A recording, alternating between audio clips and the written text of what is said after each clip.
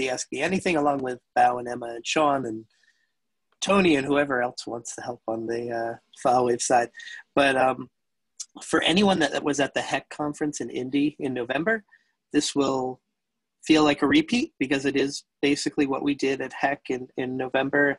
Uh, we're going to show some things that you can do better in the web admin. Um, a lot of folks might spend their days in the native admin, might never look at the web admin, and we just want to give some exposure to some things that you know we feel uh, we're getting right in the web admin, uh, and just call attention to it. And you know, with every release, you know, there should be more in the web admin, so maybe more reason to go there. So that's our goal. So uh, I will give it to Emma and uh, Bao to go through that, and then we'll have the break whenever we finish, and then we'll go into the Ask Me Anything. Okay. All right, let me go ahead and share my screen.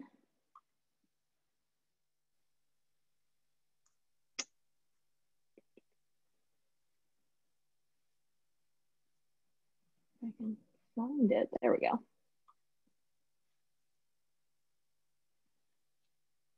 All right, can everybody see my screen?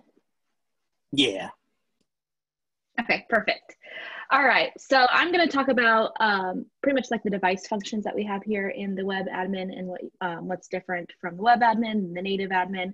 Um, so one of the main things that's nice about the web admin is that it's more convenient than the native one. You can log in from just about anywhere, from just about any any device. Um, and there are some tasks that can only be done in the web admin as well, which I'll show you here in a little bit. Um, and uh, honestly just overall the convenience of everything is a lot nicer so the first thing i wanted to show you is importing placeholders so in the web admin if you log in and to get to your log web admin if you've never logged in before you just browse to your um, server address log in with your normal credentials and then you get this screen which is your device screen um, and then over here we have this little upload button here to import a CSV file. And then we can browse to our CSV file, which I already have one created here. So I just have some um, random devices brought in here. So just like we do in the native admin, everything's normal up to this part. So then we can go to the next. What's cool here is that we can actually like dynamically map all of these, all this information. So in my CSV, I have like the client name, comment, and serial number. Um, but this actually needs a few other things like um, whether or not it's a MAC address or if it's a serial number or um, the device name. So if we open up the, these, we can see the FileWave device fields, and then the ones with the keys next to them are the um, ones that we have to have. So this one will be our device name. This one already knows that it's the comment. And then here we're gonna have our serial or MAC address.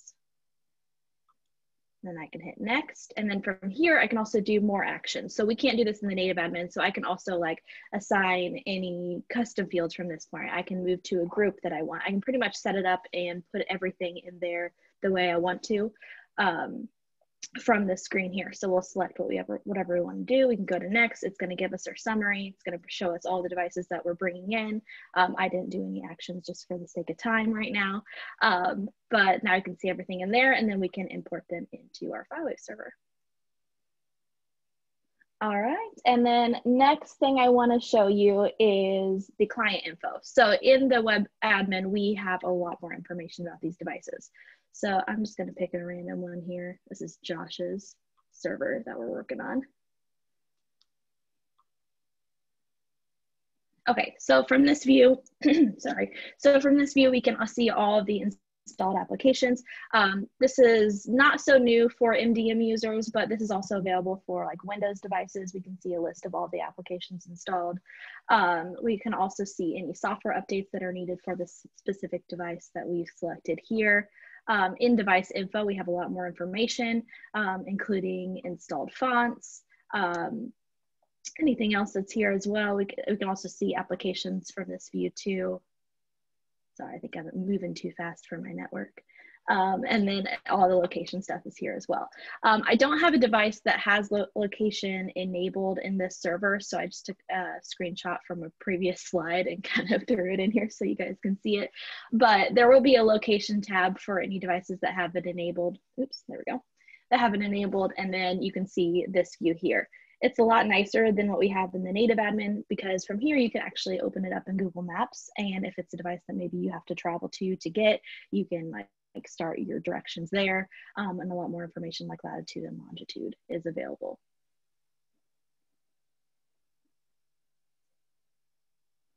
All right.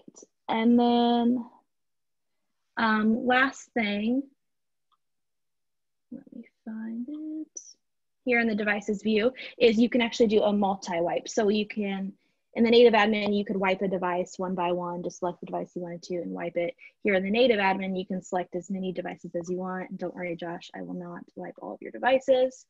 And then from here, I can wipe them. Oops, there we go.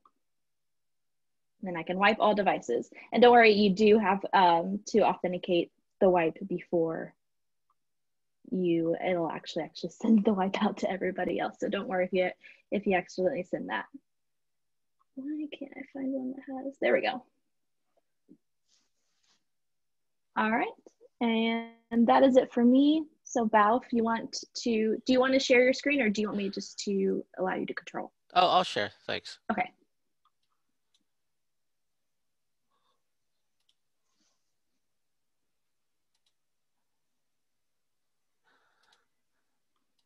All right, hi everybody. So I'm going to talk a little bit about some of the tasks that are a little bit more convenient in the web admin console or just require significantly less steps than uh, you would in the native admin. So as mentioned before, one of the nice things about the web admin is that it, it allowed the FileWave devs to basically start over with a clean slate without you know decades of basically UI baggage where features were just added upon other features. So uh, the the net benefit of that is that a lot of things are just simply laid out better in a much logical manner in the web admin. And what comes along with that is it's much more intuitive. So it's much easier to pick up.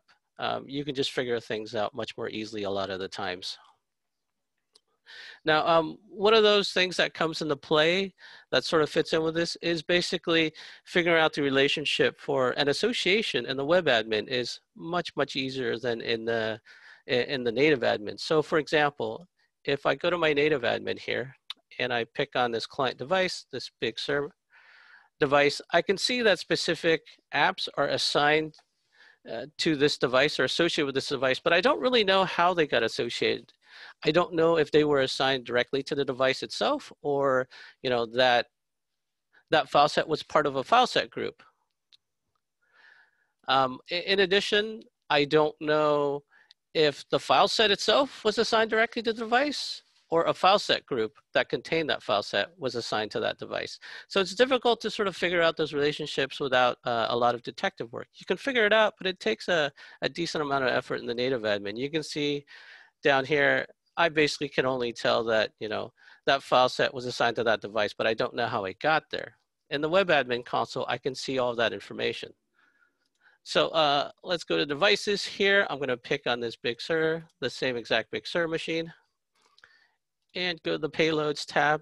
And so these five file sets are the ones assigned to the device. So it's the exact same five file sets here except that you, you've got this little dot here, this information dot, and this tells me the relationship between uh, the file set and the device, how they got tied to each other essentially. So I'm gonna click on it here. So for Google Chrome, and this tells you where the device is in the, um, the device hierarchy and the client hierarchy. And this tells you uh, where the file set is in the file set hierarchy. So I can tell that this Big Sur device is um, in this particular path in the, the, in the client hierarchy. And this uh, file set here, Google Chrome, is uh, in this uh, particular path in the file set hierarchy. And the items that are highlighted are the ones that um, establish the relationship essentially. So Google Chrome was part of Mac browsers and Mac browsers was assigned to Big Sur via the My District uh, client group essentially. And so you can verify that. So let's go to, uh, let's go back to the native admin console to verify that in the associations area. So let's go ahead and we'll look up Google Chrome here. Sorry, let me move my uh, RingCentral bar there. Okay.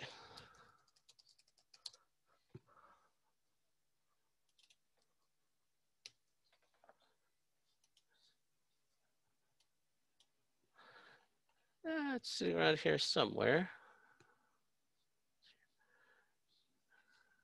What if I remove that at some point? Let's pick on another one here that's a little bit easier to see. Let's pick on uh, Sublime Text here.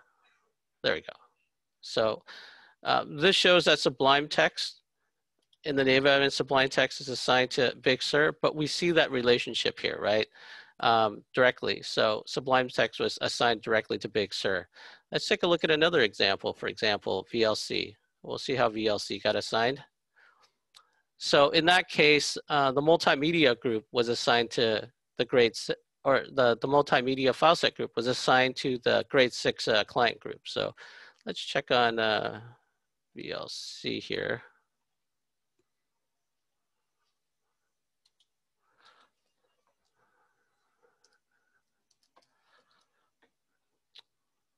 It seems like I might have made a uh, changed last night and sort of uh, broken that. But um, I probably forgot the update model when I was setting this up last night. But you can see how that actually uh, lays out the relationships there. I'm guessing Zoom. Yeah, there we go. So Zoom here, it shows a relationship uh, of how Zoom got assigned. So Zoom was assigned to all Macs, and you can see that relationship right here. Okay. Um, one of the other nice things is that um, OS updates now includes a rollout plan where you can specify um, off hours to deploy so you're not disturbing end users so they their devices don't get rebooted unexpectedly and things like that. So let's take a look at that so we can see an example of what that actually looks like. So we're gonna go to software updates here and I think I can pick on this one. And if you select a device and you um, decide to deploy to one or more of those devices, you can pick a rollout plan here before you actually uh, decide to deploy to those devices. And the nice thing about this is these hours are set um, uh, essentially daily or weekly. Um, so this gets enforced all the time. And it's not just a starting time window or a, a starting time, but it's enforced daily essentially um, the entire week. So that's a little bit more convenient in terms of uh, not bothering your users and having devices uh, reboot at unexpected times. Okay, uh, let's take a look at uh, payloads. And let's see here, we'll pick on, I think Zoom is a nice example here. We'll give it a little bit of time to load here. But with, uh, uh, with this, there is a deployment circle, which gives you a better status of the deployment status and um, basically um, how much of it is complete. So you can see here, it's currently assigned to five devices and it's 40% complete. And these, uh, these links, if there are any numbers here, they are linkable. So you can click on it to find out which devices have actually completed it or are remaining or have actually errored out. So let's go pick on this one. And you can see here some of the devices.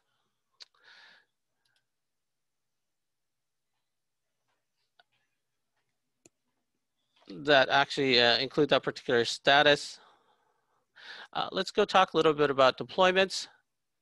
So with deployments, it's a lot more flexible um, than associations. With associations, they're sort of rigid. You can't really specify any information here about them really. It's basically a file set is assigned to a client device and that's all the information that you know. So targeting is a lot harder there in that case. Let's, uh, let's sort of add a sample deployment here. So you can see there's the workflow is noted at the top here. So it's very straightforward and it lets you know what's gonna happen in advance. And so you're going to specify targets, then you're going to add payloads, which are essentially file sets, and then it's you, you can set those uh, options. They would be equivalent to file set options. And then you're gonna get a summary of how many devices are targeted and uh, which ones are excluded. And of course, uh, what items are assigned and the timing options. So let's go ahead and pick, I'm gonna pick something that goes to my district, for example. So I'm gonna target the entire district. But I also have the option to exclude um, a child group, for example. Maybe there's a particular school that I want to exclude that is uh, different than the rest of my schools. So I can go down there and actually exclude a specific child group. So let's say I want to exclude Washington High, for example. So now when I assign any other file sets, it will go out to my entire school district except for uh, all the devices at Washington High. And of course, I can add sort of one-offs here, one-off devices. So maybe there's a device that for whatever reason is not in the school district, I can just add it explicitly also. And the same goes for exclusions. So you can see how this would be much, much more flexible in terms of uh, targeting devices. It's much easier to get to the devices that you want with the minimal amount of effort. Uh, this would require a lot more associations in the native admin console. And let's go to the next step here. And here you would simply pick your payloads from your available list of payloads, pretty straightforward.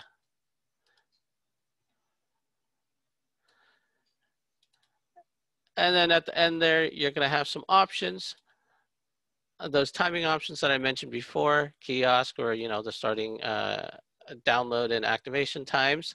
And then next, you're gonna get that summary I mentioned before. And the nice thing is it tells you how many devices will be affected here and also how much data they're gonna be downloading. So FileWave knows what file sets are assigned. It's gonna count up all the size of the file sets and give, give you a total count here. So think of deployments as sort of a, a, an evolution of associations that are much more flexible in terms of targeting and exclusions. Let me delete this draft here. Uh, one other nice thing also is in the web admin console, there's now a context sensitive script editor. So you can see an example of that. Let me search for here payloads. I think Firefox has an example.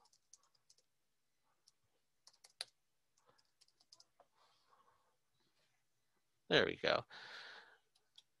So I think it's this one. Let's go to scripts. Yes, so we'll edit this. And you can see here, it's uh, it's highlighted. There's the, the context sensitive highlighting down here. So uh, a lot of times it just makes that easier to edit. All right, and I'm gonna hand it back to Josh now for the Q&A session. Hey, hey, so actually we uh, we had to break uh, though, and and then we would uh, pick up at it was supposed to be ten forty five, a fifteen minute break, and so I guess we would keep it at that to to break uh, until the top of the hour.